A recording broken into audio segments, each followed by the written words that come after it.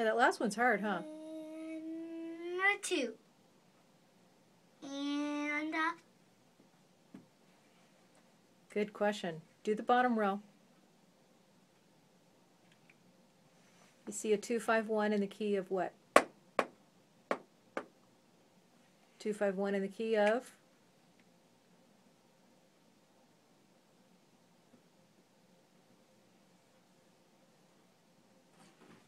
And then look at the second group there. 251 at the end row there. 251 in the key of what?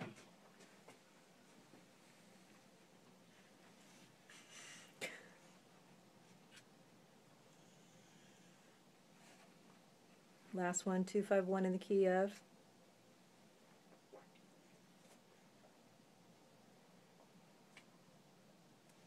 You got it.